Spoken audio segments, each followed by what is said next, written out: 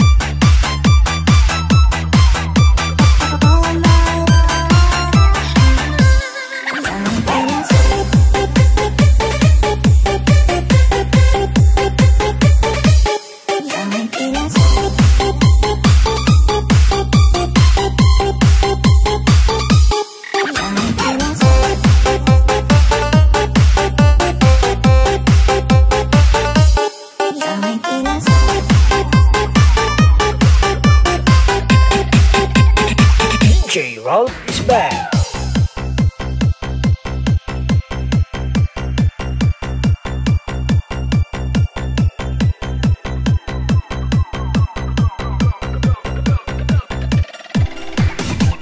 Fitness Revolution Crew.